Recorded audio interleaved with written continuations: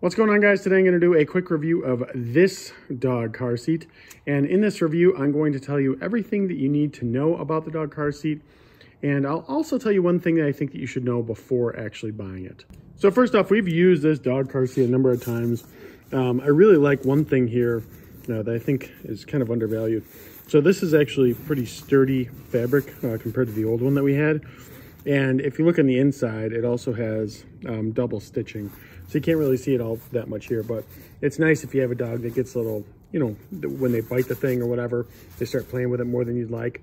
It's really nice for that. One thing I like too here is, and it's hard to see it here, but everything, including this right here, you can take, uh, on the inside, you can take the pillows out. They're all separate pillows, so you can take them out and wash them.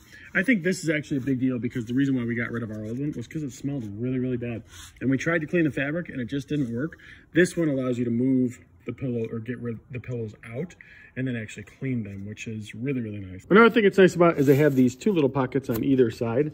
Um, we don't even put anything in here, but I think it's just nice if you have to. We actually used to put some uh, baby toys in there, uh, but it's just nice to have all this, uh, you know, this extra storage space in addition to the bed itself. Now to use the bed, pretty simple. Uh, if you're in the back seat, you basically just put it up on the headrest there.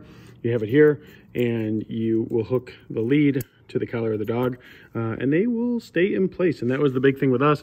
Our dog was here, kept jumping over to there where a baby was, uh, and that obviously didn't work. So this allowed us to make it so that they're not really, you know, she's not really jumping all over our baby girl. And probably the last thing I really like about this dog bed is the fact that they have this setup, which is nice. So this is supposed to be for winter, the pillow.